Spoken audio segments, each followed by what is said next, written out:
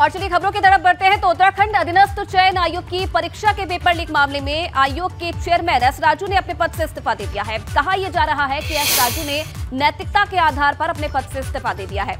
UK triple S की परीक्षा के पेपर लीक मामले के बाद आयोग के कामकाज पर भी लगातार सवाल उठ रहे थे। पिछले साल दिसंबर महीने में स्नातक स्तरीय परीक्षा करवाई गई। आयोग ने चार और पाँच दिसंबर को परीक्षा करवाई थी और परीक्षा में धांधली और पेपर लीक मामले के बाद आयोग की भूमिका पर भी लगातार सवाल उठ रहे थे। सीएम धामी ने भी साफ़ किया था कि दूध का दूध और पानी का पानी हो जाएगा। जाँच के दौरान परीक्षा में गड़बड़ी और पेपर लीक मामले में अब तक कई लोगों की गिरफ्तारी भी हो चुकी है।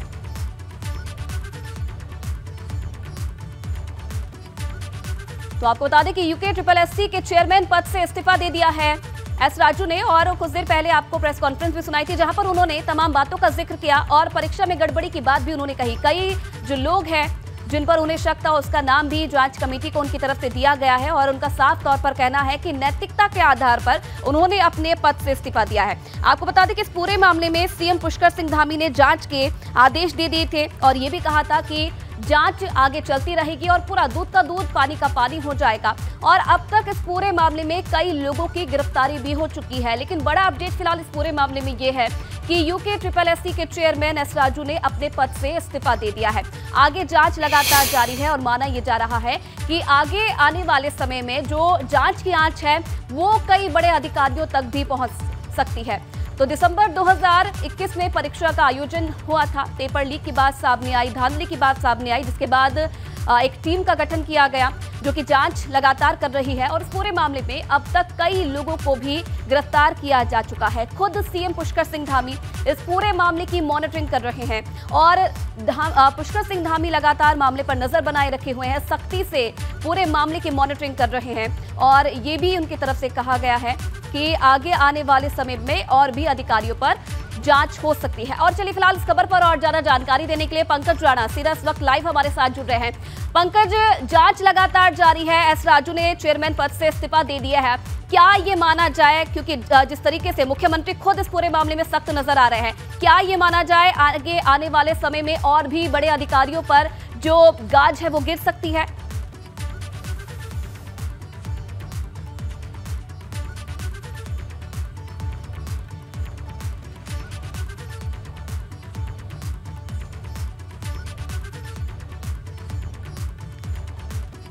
पंकज क्या मुझे सुन पा रहे हैं? चलिए संपर्क करेंगे पंकज से लेकिन इस पूरे मामले पर लगातार अपडेट आपको दे रहे हैं कि और चलिए एक बार फिर से पंकज से जुड़ने की कोशिश करेंगे। पंकज क्या आप मुझे सुन पा रहे हैं? आप तक आवाज़ आ रही है। बिल्कुल आयुषी जी। पंकज क्योंकि देखिए बिल्कुल देखिए मैं इस वक्त आयोग के कार्यालय में ही मौजूद हूँ और हाँ। एस ठीक है ठीक है। अपनी बात पूरी कीजिए पंकज। मैं आयोग के कार्यालय में ही आयुष में आयोग के कार्यालय में ही मौजूद हूँ और यहाँ अगर देखा जाए तो देखिए 2014 में इस आयोग का गठन हुआ था, अधीनस्थ सेवा चयन आयोग का और कई भर्तियाँ आयोग ने कराई हैं। अट्ठासी भर्तियाँ कराई हैं और अट्ठासी में से अधिकतर भर्तियाँ बिल्कुल साफ़ और सुथरी तरीके से कराई गई हैं और एक दो भर्तियों में कुछ गड़बड़ी हुई थी, जिसके लिए खुद आयोग ने अपनी तरफ़ से एफआईआर कराई और कई कई जो कर्मचारी थे या यूँ कहें कि जो इसमें संलिप्त थे, उन पर एफआईआर दर्ज के बाद उनकी गिरफ्तारी की गई है और एस राजू ने इसलिए इस्तीफा दिया है क्योंकि देखिए वो बहुत प्रतिष्ठित अधिकारी हैं, लंबी सेवा उन्होंने उत्तराखंड में दी है और किसी भी तरह के उन पर ऐसे कोई गंभीर आरोप नहीं लगे। लेकिन नैतिकता के तौर पर उन्होंने आज इस्तीफा दे दिया, हमारे साथ में है। उनसे बात करते हैं। सर ये बहुत गंभीर बात भी है और आपने नैतिकता के तौर पर आपको लग है कि थोड़ा वेट चाहिए? नहीं जब एक बार बच्चे का विश्वास कम हो गया है। तो जाना ही पड़ रहा देखिए आप क्योंकि आपने इतना लंबा अनुभव आपका रहा है आई अधिकारी रहे हैं, शासन से लेकर हर तरह के आपने अपने अनुभव साझा किए हैं। आयोग में जब से आप बैठे और तब से लेकर अब तक आपको ऐसा लगा कि कुछ इस तरह की गड़बड़ियाँ होंगी तो आप अपने खुद आपने एफ़ दर्ज कराई, सब चीज़ें आपकी तरफ़ से हुई, फिर भी आप इस कदम में आगे बढ़े? वो तो मैं कह रहा कि वो बच्चे परेशान हो रहे हैं ना। जैसे फॉर एग्ज़ाम्पल लगभग दो तीन, दो, ढाई हज़ार बच्चे की भर्ती की वजह से रुका हुआ। उनको मानसिकता मैं जानता हूँ कि सब परेशान तो है। अब मैं जितना भी उनको समझाऊँ वो वो लोग मानेंगे तो है नहीं। वो तो कहेंगे कि कमीशन जिम्मेदार है इसका है ना? तो ये ये तो कोई अप्रिशिएट नहीं करेगा कि भाई वो कमीशन इस तरह से आप भावुक हो रहे हैं ये भावुकता तो आपकी बता रही है ना कि आपको कष्ट है इन चीज़ का नहीं कष्ट तो है। कष्ट इस बात की है इस बात की है कि अभी तक मेरे कैरेक्टर के बारे में किसी ने कुछ कहा नहीं। अभी कहा जा रहा है कि इसको जाँच करो इसको ये संपत्ति की जाँच करो। ये ये तो मैं मैं कभी सुना नहीं इस तरह का। मैं इतने साल नौकरी हो गए इसमें। कभी किसी ने मुझे बेमान कहा नहीं। यही बात।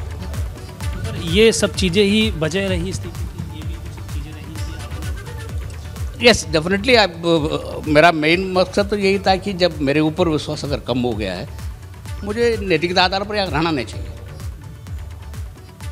सर कुछ ऐसे बच्चे हैं भी हैं जिन्होंने अभी अध्याचन आए थे आपकी तरफ़ आए होंगे उन्होंने जॉब के लिए अप्लाई किया होगा परीक्षाएँ होने जा रही थी। आपका तो बहुत महत्वपूर्ण पद है और ये सब जानते हैं कि एस राजू इस तरह के बिल्कुल अधिकारी नहीं है। फिर भी आपको लगता है कि थोड़ा सा इंतज़ार आपको कर लेना चाहिए ताकि अगर इस तरह का रहा अब तो मैं इस्तीफा बेच चुका हूँ। लेट्स सी व्हाट जो आप सोच रहे हैं गवर्नमेंट भी इस तरह का सो, सोचता तो बात दूसरी है।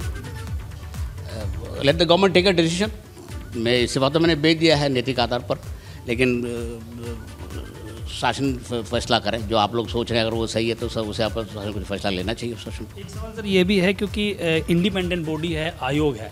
आयोग एक संवैधानिक संस्था होती है, और संवैधानिक संस्था पर इस तरह के सवाल खड़े होना, इस तरह के घोटालों के आरोप लगना, क्या ये लग नहीं रहा कि बहुत ज़्यादा ये चीज़ें उस ओर इशारे कर रही हैं कि जहाँ पर इस तरह की चीज़ें नहीं होनी चाहिए, वहाँ ये सब चीज़ें उड़ जाती हैं? नहीं इसके पीछे तो बहुत सारा मफिया गैंग है इसका। लाइक फॉर एग्जांपल जो जब से हमारे कमीशन में बहुत खुलापन हो गया है इसको जैसे फॉर एग्ज़ाम्पल लास्ट छः साल में हर छोटी छोटी चीज़ हम लोग बच्चे के कहते थे इसको? तो इतना खुलापन हम लोगों ने दिखाया।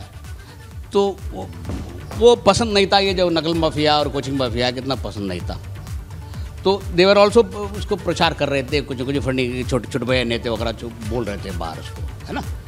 तो इसलिए जो वो नाम खराब करने के लिए कोशिश तो किया है लेकिन अनफॉर्चुनेटली हमारे बड़े नेता लोग हैं यहाँ। उनको भी शायद ये मालूम नहीं था कि भाई इसके पीछे राज है, इस तरह का जो दौर प्रचार किया जा रहा है। जैसे मैं मज़ाक से कहता हूँ कि जितना अधिक बोलोगे उतना फंसोगे। तो कमीशन में तो कि आपने इतना खुलापन दिखा दिया है लोगों को हर छोटी छोटी चीज़ मिल गया इसको। बहुत सारा कमीशन में कुछ नहीं बोलते हैं। रिज़ल्ट दे दिया और, और कोई बात ही नहीं करता इसको। लेकिन मैं सोचा यहाँ खुलापन होना चाहिए ताकि बच्चे को मालूम होना चाहिए। वो था वही गलती हो। क्योंकि सर आयोग है तो आपको आपके इस पूरे कार्यकाल में आपको लगा कि आप पे किसी का दबाव आया किसी चीज़ के लिए आयोग में तमाम चीज़ों के लिए चाहे हम भर्ती की बात करें या अन्य चीज़ों की बात करें कभी कोई ऐसा दबाव राजनीतिक तौर पर लगा? देखो राजनीतिक दबाव तो आता ही है क्योंकि सरकारी नौकरी है। राजनीतिक तो लोग बोलते हैं बहुत सारा लोग। लेकिन मैंने किसी को माना नहीं है। अभी मैं चैलेंज करता किसी आदमी मुझे दिखा दें कि किसी नेता का आदमी को कुछ हो गया है। अभी तो तो हुआ नहीं है। मैं मैं कभी नहीं मानता था। वो भी एक कारण हो सकता है मेरे खिलाफ बहुत सारा नेता लोग परेशान थे। ये भी एक वजह हो सकती है। हो सकती है बिकॉज़ कमीशन में कुछ चल नहीं पा रहा था उन लोगों का। कि हम लोग एक भी बात सुना नहीं है कि कि भाई इसमें कुछ मेरा आदमी फुट कर दो। वो तो या तो चूँकि वो सरकारी नौकरी प्राइम नौकरी है इसलिए नेता लोग सिफारिश तो करते हैं इसका लेकिन मैं किसी को माना आना नहीं है इसका। अच्छा सर एक लास्ट सवाल ये भी है कि उन छात्रों के लिए उन अभ्यर्थियों के लिए आप क्या कहेंगे जो आज इन्होंने आयोग में जो भर, आपने भर्तियाँ निकाली हैं उन्होंने अप्लाई कर चुके हैं क्योंकि एक संस्था है उसके लिए उनके लिए क्या अपील करेंगे आपकी वो आगे इस तरह की चीज़ें ना हों उसके लिए क्या अपील करेंगे? देखिए इसमें मैं मैं मान के जा रहा हूँ कि वो जो प्रेस से तुमने हटा दिया है इसको तो अभी जो भी चेयरमैन आएगा सचिव आएँगे जो भी आएँगे इसका तो दे विल होपफुली दल रन इट बेटर बट वो अगर इस तरह का चूक हो जाता है, वो तो हर जगह में हो ही जाता है। ऐसा नहीं है कि वो जो अगर अट्ठासी एग्ज़ाम करेंगे तो एक में भी गलती ना हो। गलती तो हो गई है। लेकिन आप इसका डरे मत लो। जो आने वाले भर्ती में हम लोग उसको, इसके जो जो भी यहाँ चेयरमैन आएगा, वो, उसको मैं कह के जाऊँगा कि भाई वो अच्छी प्रेस भी है हमारे पास। ये कोई गलत प्रेस में जाके हम लोगों ने कर दिया है, ये लग रहा है। लेकिन वो भी अभी श्योर नहीं है कि वास्तव में प्रेस में हुआ नहीं हुआ। लेकिन मैं मान के जा रहा हूँ हुआ होगा। तो और भी प्रोसेस है हमारे पास। तो उसमें इसको अवॉइड करके बाकी में करेंगे। बाकी बार में तो अभी तक शिकायत आई नहीं इसको। तो आइसो देखिए आप एस राजू थे और देखिए बहुत भावुक भी हुए हैं ये इस बात को लेकर कि आयोग पर इस तरह के आरोप गंभीर आरोप लगे हैं। और ये सवाल इसलिए भी महत्वपूर्ण हो जाता है क्योंकि खुद आयोग की ओर से एफआईआर दर्ज कराई गई थी और कई जो लोग थे, जिन, जो भी इनमें संलिप्त थे, वो उनकी गिरफ्तारी हुई है वो लगातार एसटीएफ उस पर जाँच कर रही है आगे। लेकिन जो भावुकता है, जो उनकी भावुकता है, वो साफ़ झलक, झलका रही है कि गंभीर आरोप जो आयोग पर लगे हैं, इसी वजह से उन्होंने इस पर इस्तीफा दिया है और आगे वो, उन्होंने ये अपील भी तमाम छात्रों से की है कि जो अभ्यर्थी हैं, उनसे ये भी साफ़ कहा है कि वो एक एक उन्हें ये ये कह के जा रहे हैं कि जो भी नए चेयरमैन यहाँ आएँगे, वो आगे बिल्कुल साफ़ तुरी साफ़ सुथरी तरीके से ही आगे भर्ती हो करेंगे। तमाम चीज़ें देखिए उन्होंने खुद कही हैं और इसमें एक महत्वपूर्ण बात ये भी हो जाती है बिल्कुल देखिए यहाँ आयुषी क्योंकि आयोग के एक अध्यक्ष जो लंबे समय से पिछले 2016 से यहाँ काम कर रहे थे और उन पर किसी तरह के ऐसे आरोप नहीं लगे कि भर्ती में घोटाले हुए हैं। अट्ठासी भर्तियाँ अभी तक आयोग ने कराई हैं और उसके बाद उन्होंने खुद आज एक भर्ती में घपले की बात के बाद उन्होंने इस्तीफा दे दिया है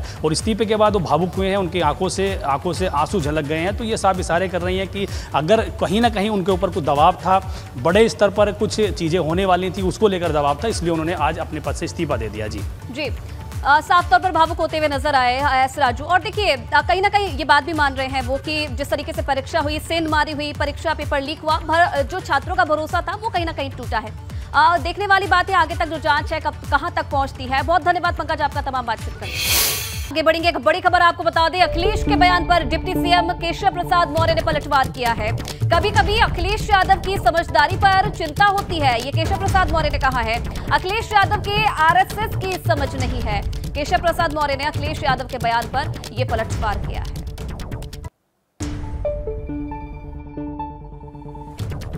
श्री अखिलेश यादव जी की समझदारी पर मुझे चिंता होती है। क्या हुआ? हर समय समाजवादी पार्टी के कार्यालय पर राष्ट्रीय ध्वज फहराते हैं। राष्ट्रीय स्वयंसेवक संघ एक स्वयंसेवी संगठन है। उसका अपना एक राष्ट्रीय ध्वज, राष्ट्र भगवा ध्वज है। लेकिन जब स्वतंत्रता दिवस होगा, गणतंत्र दिवस होगा, कोई राष्ट्रीय पर्व होगा, तब राष्ट्रीय ध्वज फहराया जाता है और फहराए जाने का काम होता है। अगर उनको इसकी जानकारी नहीं तो उनको जानकारी करना चाहिए, तब इस प्रकार के बयान देने चाहिए। लेकिन राष्ट्रीय स्वयंसेवक संघ के बारे में कोई टिप्पणी करने से पहले करीब एक महीने लगातार राष्ट्रीय स्वयंसेवक संघ की शाखा में जाएँ। तब उनको संघ के बारे में कुछ काका काका पता चल जाएगा। और इधर आज अखिलेश यादव ने पार्टी नेता जनेश्वर मिश्र को श्रद्धांजलि देने के बाद भाजपा पर हमला बोला है। आरएसएस और संघ प्रमुख के ट्विटर हैंडल पर तिरंगे की फ़ोटो न लगाने पर अखिलेश ने निशाना साधा और कहा कि उनका इतिहास उठाकर देखेंगे तो बरसों बरस उन्होंने भारत का झंडा अपने स्थान पर नहीं लगाया है। तिरंगा अभियान के नाम पर दंगा बीजेपी करा सकती है। चल रहा है। वहीं मैं सावधान करना चाहता हूँ। ये भारतीय जनता पार्टी तिरंगा के साथ धर- दंगा भी फैला सकती है। ये तिरंगा यात्रा के साथ साथ समाज में कहीं ऐसी घटना भी करा सकती है जिसमें समाज में दूरियाँ बन जाएँ। और देखिए अखिलेश यादव की तिरंगा यात्रा पर दंगा फैलाने की टिप्पणी पर भाजपा प्रवक्ता राकेश त्रिपाठी ने भी पलटवार किया है। तिरंगे के साथ दंगे का नाम जोड़ना ये बहुत दुर्भाग्यपूर्ण है। अखिलेश यादव को अपने इस बयान के लिए माफ़ी मांगनी चाहिए कि वो भारत के राष्ट्रीय ध्वज, तिरंगा, जिसके साथ एकात्मता का भाव जुड़ता है, जो किसी जाति का नहीं, किसी पंथ का नहीं, किसी मज़हब का नहीं, किसी वर्ग का नहीं, बल्कि पूरे संपूर्ण भारतीयों के लिए स्वाभिमान का प्रतीक बनता है, उस तिरंगे के साथ। वो दंगे जैसे शब्द का इस्तेमाल कर रहे हैं। अखिलेश यादव जी को रह रह करके अपने कार्यकाल के दंगों की याद सताती है। और चलिए आगे बढ़ेंगे। बड़ी खबर आपको बता दें, प्रतापगढ़ से बड़ी खबर है, जहाँ एक चलती कार अचानक से आग का गोला बन गई। कार सवार लोगों ने कूदकर अपनी जान बचाई। शॉर्ट सर्किट की वजह से कार में ये आग लगी है, इसकी आशंका जताई जा रही है। मौके की तस्वीरें भी आप देखिए, प्रतापगढ़ से ये तस्वीरें सामने आ रही है। अचानक से इस चलती कार में आग लगी और बताया ये जा रहा है, आशंका ये जताई जा रही है कि शॉर्ट सर्किट के चलते ये आग लगी है। हालाँकि किसी प्रकार की जनहानि इस हादसे में नहीं हुई है और समय रहते जो कार सवार थे, उन्होंने कूदकर अपनी जान बचा ली। लेकिन ये पूरी तस्वीरें, मौके पर लोग जो मौजूद थे, उन्होंने कैमरों में कैद कर ली और आप देखिए किस तरीके से अचानक से इस चलती सी कार में ये आग लगी। शॉर्ट सर्किट बताया जा रहा है आग का कारण और समय रहते कार सवार लोगों ने कूदकर अपनी जान बचाई।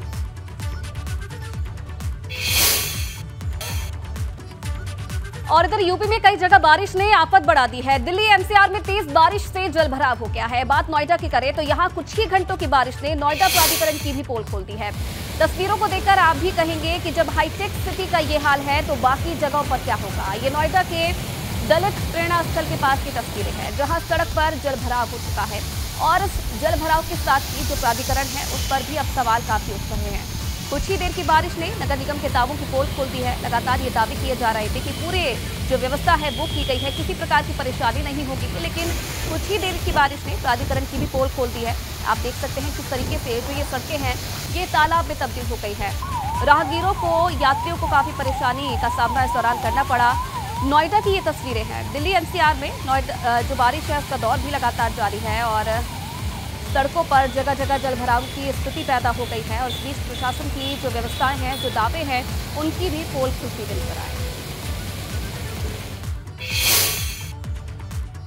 और चलिए फ़िलहाल इस बुलेटिन में इतना ही। तमाम खबरों के लिए आप बने रहिए एबीपी गंगा के साथ।